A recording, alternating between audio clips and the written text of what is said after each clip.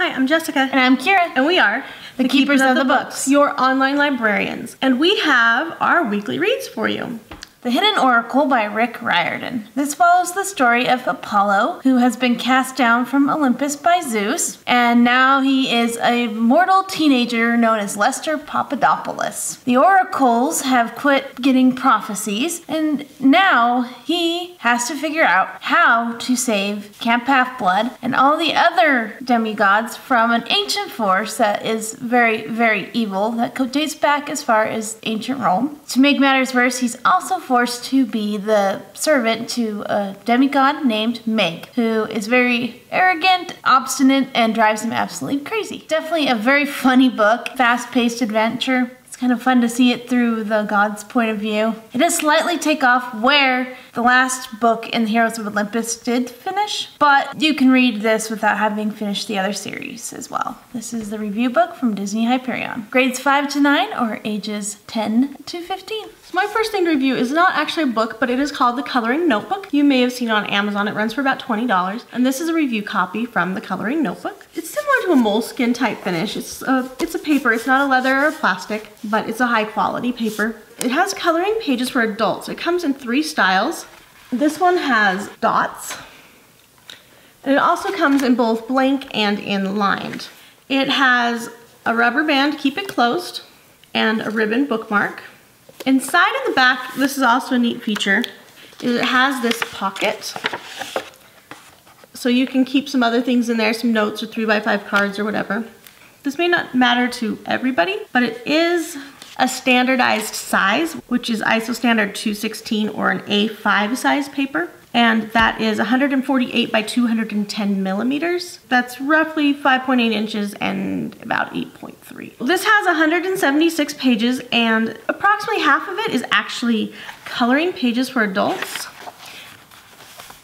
Of it is going to be your dotted paper. I've actually been looking for a notebook like this to take notes in meetings so that I can kind of like doodle or color while I'm taking my notes and paying attention. And I pay better attention when I'm kind of doing something mindless at the same time. It has some really cute coloring pages.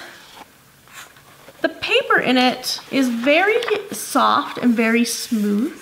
It's slightly a cream color. Now there are a few pages where it's all dots. This is a really great notebook. If I was doing a bullet journal, I think this would be great. It's acid free and I could take my, my notes or put my things I'm keeping track of on one side and my coloring could be on the other side. I did want to try out some different inks on the paper because I noticed sometimes I could kind of see the dots and the paper when I saw it in the light. So I wanted to try some different pens. So you guys, if you were looking for something that worked with some different pens, you would know what kind worked better. This is definitely gonna work with like your ballpoint pen. But I liked the gel pens. They didn't really bleed through to the other side too much. You could still see a faint shadow with some darker colors. It didn't bleed through and get on the other side of the paper. It did smear a little bit, so you do have to let it dry. I tried some other ones. I tried a coloring marker. This one's a brush tip. And it did kind of muck up the paper a little bit, so it wasn't really so smooth anymore. You know how sometimes marker can feel like it's dissolved with the paper kind of a little?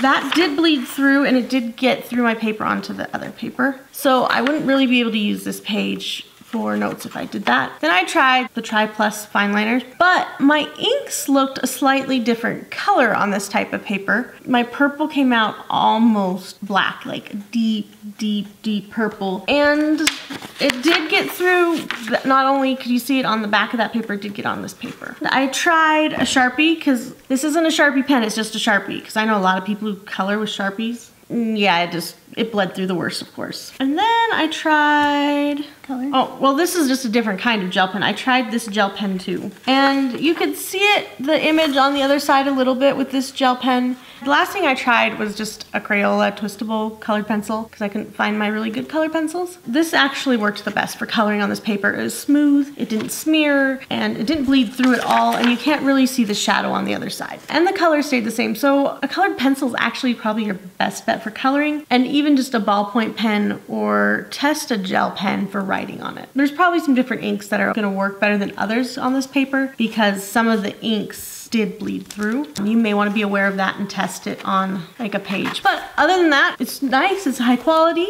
It does kind of remind me a little bit of moleskin. So that's The Coloring Notebook. Truthwitch by Susan Dennard. I've read other books by this author and really liked them, and this one was no different. Sophia is the main character, and she is a truth witch, but also essentially the royalty of this world. She's called a Domna, and she's supposed to be marrying the Emperor of Cartorra. And what happens is very interesting because when she's at this ball where she's supposed to announce her engagement to the Emperor, she, runs away first because she doesn't want to marry the Emperor. And she ends up getting kidnapped by a guy named Merik from Nubrevna. He's the prince of it. And he was actually hired by her uncle to get her to safety. Fast forward a little bit, they're on the seas. Now, the Empress of Cartorra is after her and wanting to kill her, and the Emperor is hot on her heels as well with other unknown nefarious purposes. Can she get to safety? Why are all these people trying to kill her? Very action packed fantasy with a lot of world building. I loved all the magical elements and all the different powers that are involved. One of the villains, there's more than one, is actually a blood witch, so he can like control people's blood. Merik is a wind witch, he can control people's airways as well. There's there's just a few of them. I think if you like anything that has magical powers, you'll also like this too. Due to some language and some violence, ages 12 and up or grades 7 to 12. You want to stay tuned because we have some great reviews coming for you. The sequel to that one,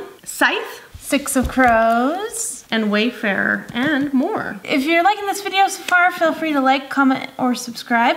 Remember, subscribing is free. You just get some reminders once in a while to let you know when new videos come out. Six of Crows by Leigh Bardugo. This one, I know this one came out a while ago, but I wanted to read it, and I know the sequel's already out, but I had to wait till it was checked in, which pretty much took over a year.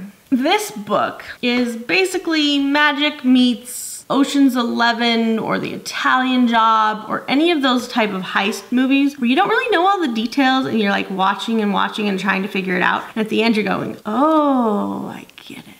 Then you kind of want to start over again. But in this one, you really want to read the next book. You're on the edge of your seat. Of course, that keeps you reading. You have Kaz Brekker. He is the leader of this gang and he lives in Ketterdam. He has the opportunity to have a major heist put together. There is this new drug that is taking the magic people and it makes them junkies, but it makes them super powerful. Kaz has this backstory and he's out for revenge and he thinks this heist would help him to get revenge. He has to put together a team, so he gets five other shady criminals, thieves, a lot of his crew has powers. You learn more about their powers in the book, and I'm not going to tell you all their powers because it's going to spoil part of the story. They have some really shady pasts, and their backstories are filled in throughout. They're kind of spliced in at opportune moments to put a backstory, and they really help you to understand the characters and why so many of these characters on this team, even though it's the best team, lots of them hate each other or don't trust each other and have some really interesting pasts. But their heist is for the Ice Court. The Ice Court is basically another kingdom or city. Nobody's ever survived robbing them, having a siege, anything like that. Security is super high, and nobody really knows enough to get around it. But there's somebody on this team who knows a little bit more. Obviously, like a heist movie, you can't really tell you too much more without giving you that. Just know that this is really good, and Leigh Bardugo has deserved all the praise she has gotten for her books. When she's an amazing writer, and it's great story. It does have some language and some violence, and again, there is that drug. It's not a real drug. The language is pretty mild. There's one F word that I remember, a few other swear words mixed in. Because of that, I'm gonna say grades 7 and up or ages 12 and up. Even adults would like this one, so junior high, high school, and adult. Windwitch by Susan Dennard. This is the sequel to the one we mentioned before, and I promise I'll avoid the spoilers. Wait, will you spoil the first book? Nope. You'll remember Sophia and Merik we mentioned and the other characters from the previous review a few minutes ago. Well, something happens, they all get separated. And now Sophia is a prisoner on the Empress of Cartorra's boat. Merrick has gone back to Nubrevna because somebody is trying to assassinate him.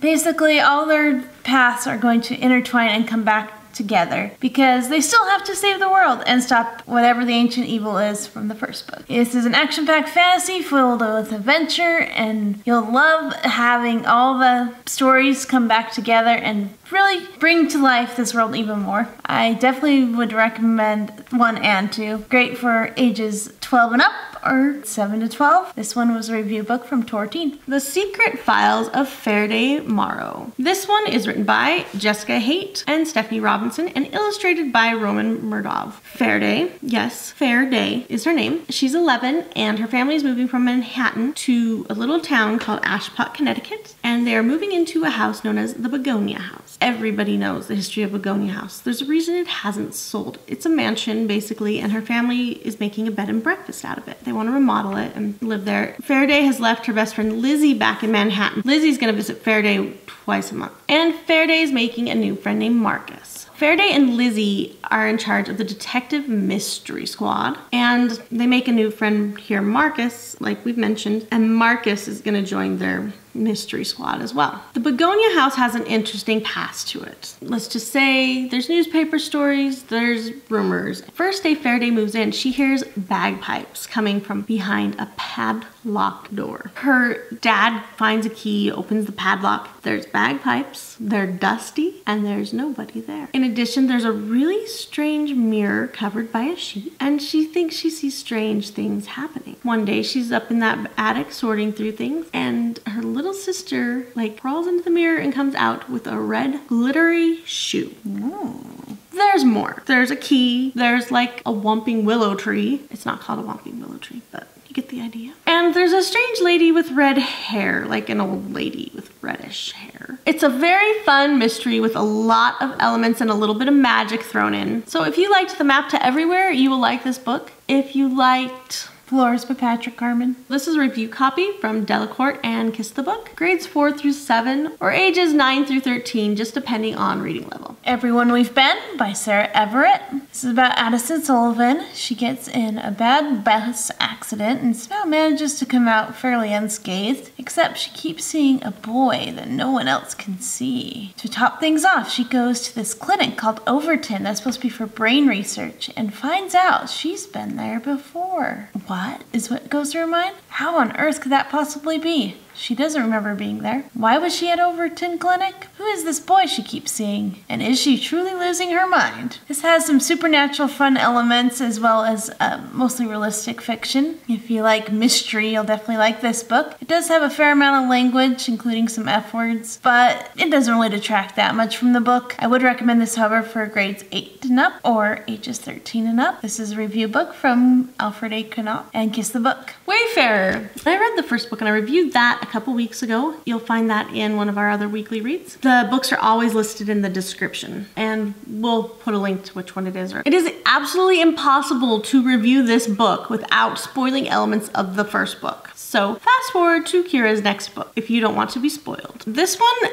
starts and has interspersed with it more pieces of Rose's backstory and why she never trained Etta all the way to be a traveler. So Etta and Nicholas, when they get to the astrolabe in the last book, Etta disappears and they are separated and the astrolabe disappears and it's taken by thorns or so they believe. Etta disappears but she just somehow ends up the thorns and Henry Hemlock is their leader and he says that he's Etta's father and he has more information for her about the other side of the story. Nicholas is heartbroken because Etta has completely disappeared and he wants to save her. So he teams up with Sophia. As unlikely as that sounds, they team up. So you have the story going back and forth between Etta and her father and Sophia and Nicholas. And then you have the backstories put in, like of Rose and stuff. And you also have a much deadlier power. I don't know how else to describe that. A dark, dark power. Could this be what Rose was really scared of and why she ran into hiding? Ironwood is still after the astrolabe as well.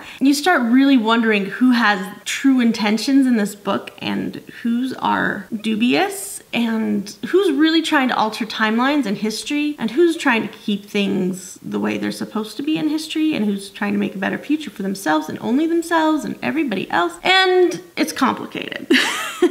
but it is so good and it is such a good book. It is not one that you can read quickly. You do need to read the details and take your time in this book. Of course, I love Alexandra Bracken, the sequel to Passenger and also the conclusion. Wayfarer is book two in this duet, so that's the end. Grade 7 and up or ages 12 and up. So junior high, high school, or Scythe by Neal Shusterman, or Shusterman, depending on how you decide to pronounce it. This book is an intense read, I'll warn you now. Follows the story of Citra and Rowan, have been selected to be apprenticed to Scythe Faraday. This is a world where nobody dies, but they have these scythmen who go around and glean people. So basically, they choose how they want to kill people and are paid to do it. That's their whole job. Unfortunately, there are four scythmen, the leaders in this Scythe Council, and they are very corrupt. They're Goddard, Volta, Chomsky, and Rand. They have an unknown number of followers that are following them, and they are going around mass gleaning people, which is a major, major no-no, because they have like these commandments they're supposed to follow, and it's major breach of that. Unfortunately, since they're the leaders, they are trying to take over the world,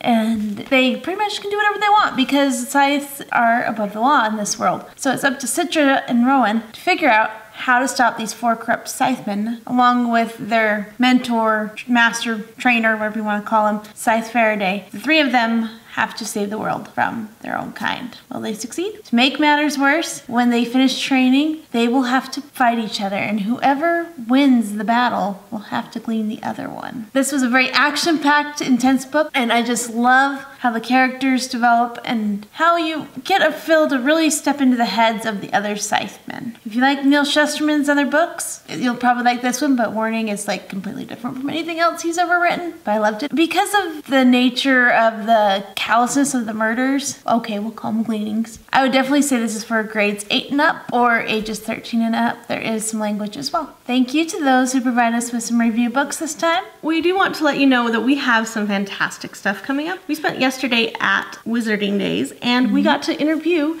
some authors. So you'll have our Harry Potter read alikes as well as some author interviews and other things from Wizarding Days. They'll be posting regularly throughout the next two or three weeks because there's going to be a whole bunch of short ones. Soon, in just a few months, Sync YA will be starting again, so don't forget about that come April when they start. For those of you who don't know, Sync YA is two free audiobooks every week, and the information on that will be in the description, as well as more information on all of these books, such as ISBN numbers. And just so you know, Sync YA is not giving us any compensation for saying that. We just love Sync YA.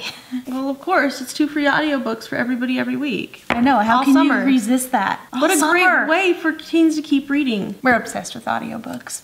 we like YA. We have for years. That is it for our weekly reads. Remember to like, comment, and subscribe. And you will hear about future updates for more books. And if you have any questions for the librarians, please put those in the comments below. Until next time, happy reading. Bye.